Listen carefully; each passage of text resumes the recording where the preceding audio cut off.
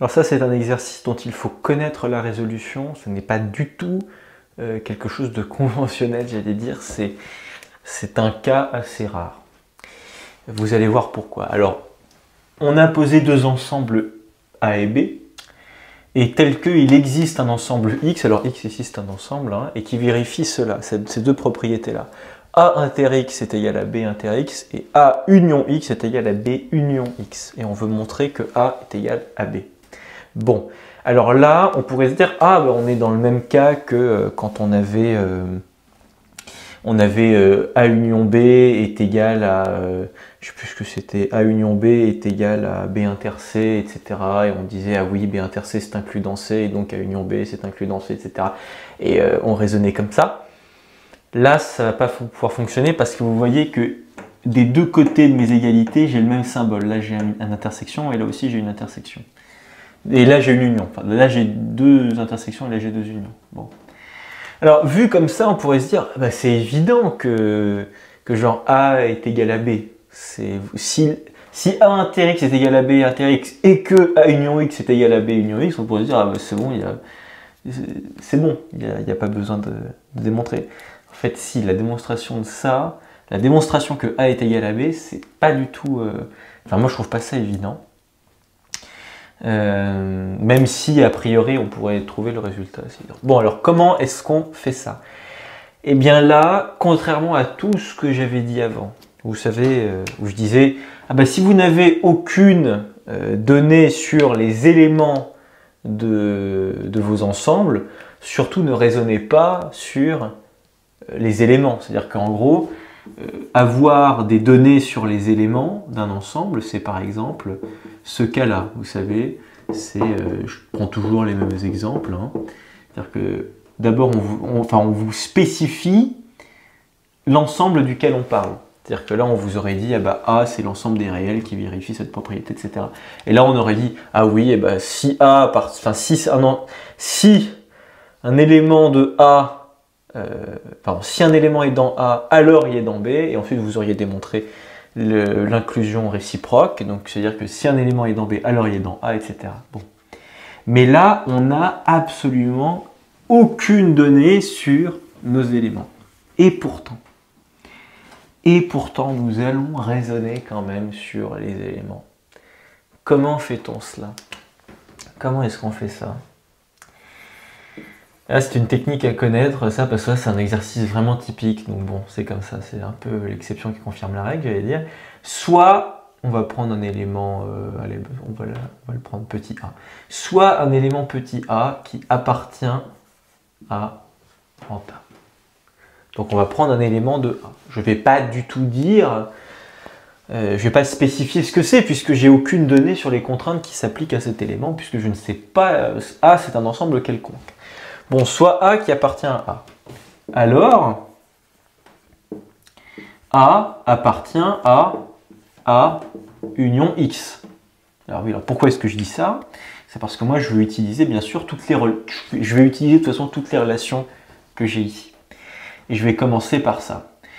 Par le fait que A appartient à A union X. Pourquoi? Bah oui, parce que là, vous avez A et là, vous avez X. Si mon élément, il est dans A, a fortiori, il est dans A union X. A union X, c'est quoi? C'est tout ça. Donc il n'y a pas de problème, il est bien dans A union X.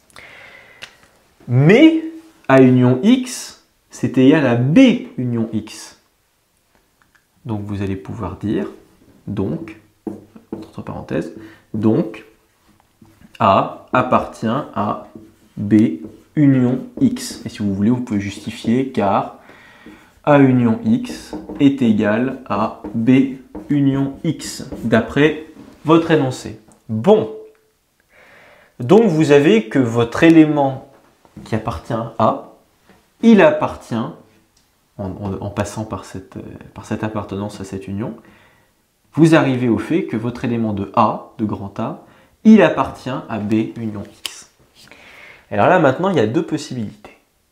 Il y a deux possibilités.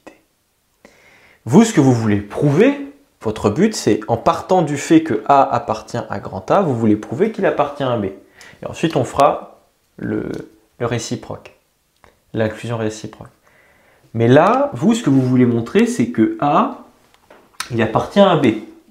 Mais vous êtes bien là dans ce cas-là. A, il appartient à B union X. Et B union X, c'est quoi? C'est tout ça. Là, j'ai dessiné B ici et X ici. Et B union X, c'est absolument tout ça.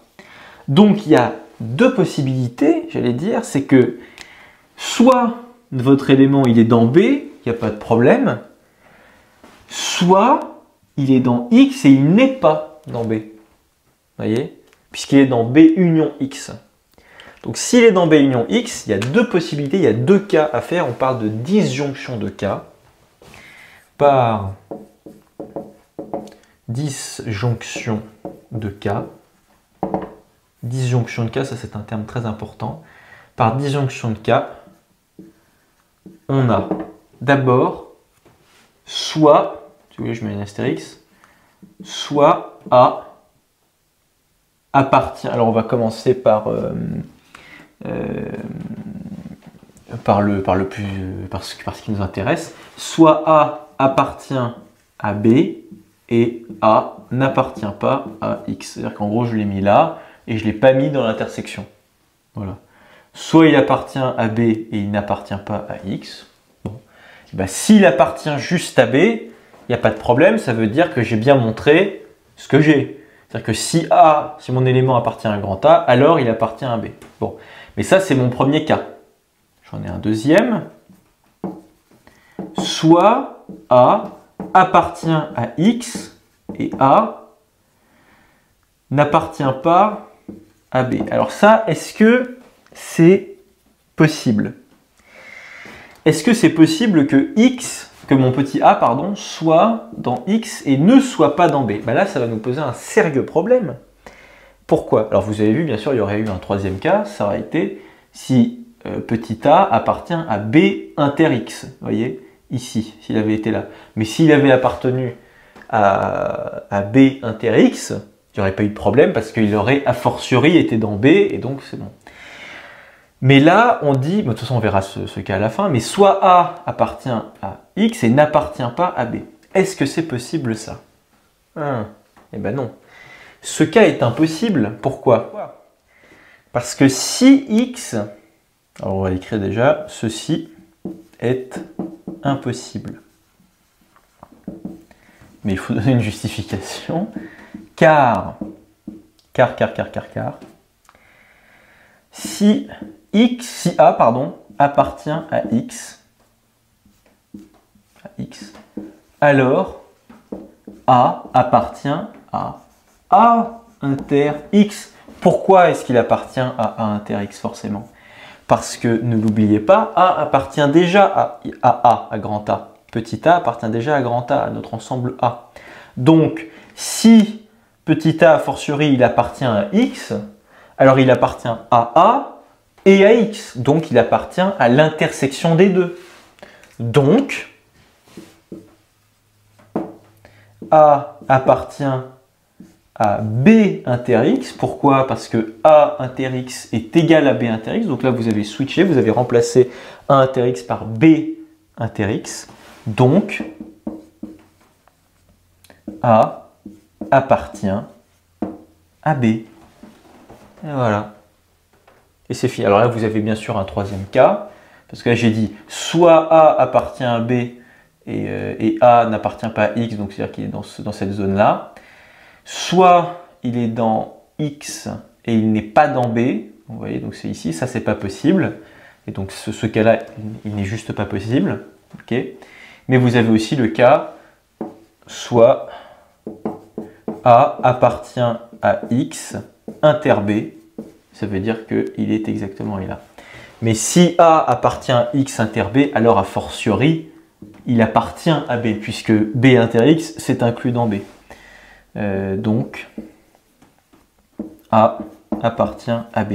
Donc, dans tous les cas, dans tous les cas, vous avez A, votre élément, qui appartient à B. Donc, A est inclus dans B. Et alors, pour le, retour, c'était exactement la même, la même chose. Vous prenez un petit b euh, dans grand B Et vous appliquez exactement le même raisonnement, mais euh, en symétrique, et vous tombez sur euh, le même résultat. Sur votre copie, il n'y aura même pas besoin de tout re-rédiger une deuxième fois, de, rédiger une deuxième fois, pardon. Euh, bon, voilà.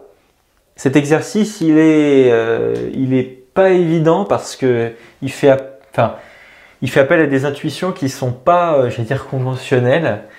Déjà, il faut se dire qu'on va prendre un élément de, l'ensemble alors qu'on n'a aucune donnée sur nos éléments. Bon. Ensuite, il faut bien penser à ça, parce qu'il faut se dire, ce qu'il faut se dire toujours, c'est je vais utiliser toutes les données qu'on me donne.